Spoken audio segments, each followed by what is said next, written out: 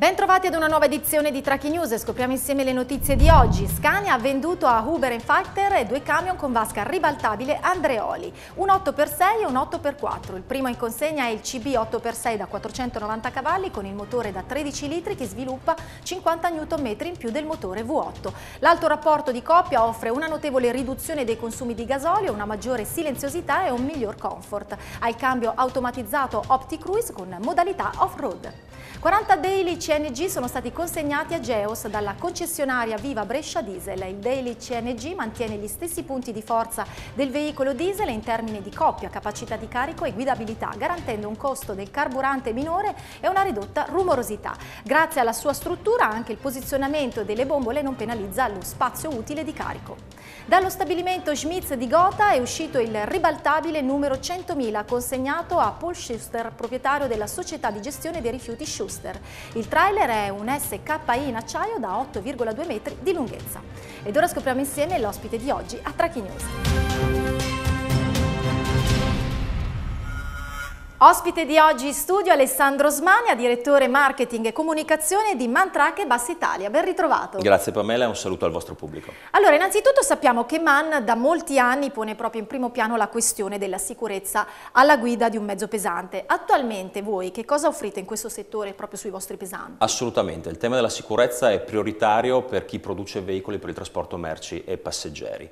E mettiamo sui nostri veicoli a disposizione tutti gli ultimi sistemi che sono stati sviluppati in tema di sicurezza. Mi piace citarne un paio, tanto per dire cosa oggi siamo in grado di offrire. In primis vorrei parlare dell'EBA, l'Emergency Brake Assist, ovvero un sistema di assistenza alla frenata di emergenza. Il sistema riconosce in automatico se ci sono delle condizioni stradali che comportano una riduzione della distanza dal veicolo che precede in modo drastico e interviene o segnalando all'autista la possibilità di dover prendere una decisione, frenare a fondo, o in modo automatico qualora l'autista non fosse immediatamente rispondente Pronto. a questo segnale.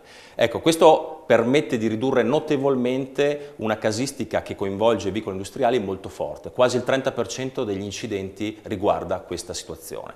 Dall'altro lato abbiamo anche altri sistemi, eh, un altro che mi piace ricordare è l'LGS, ovvero il sistema che aiuta il controllo del cambiamento di carreggiata. In questo caso se l'autista motorista per una distrazione sta uscendo dalla linea di carreggiata, il sistema lo avverte automaticamente con un suono all'interno della cabina e gli permette di tornare nell'ambito della corsia.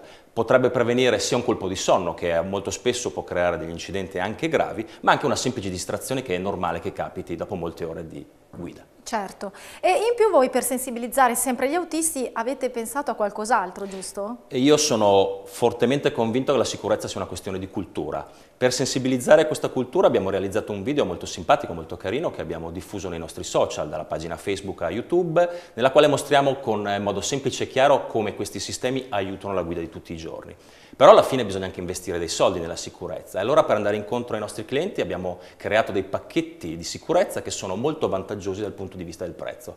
Però lasciami dire che sono assolutamente altrettanto convinto che sia sempre l'autista il nostro eh, destinatario finale e lui e sarà sempre anche in futuro il principale responsabile della sicurezza di un mezzo. E su questa tua frase eh, ci fermiamo, il tempo a nostra disposizione termina qui, ma vi ricordo che se volete seguire l'intervista integrale con Alessandro Smania potete farlo andando sul sito di trasportocommerciale.it.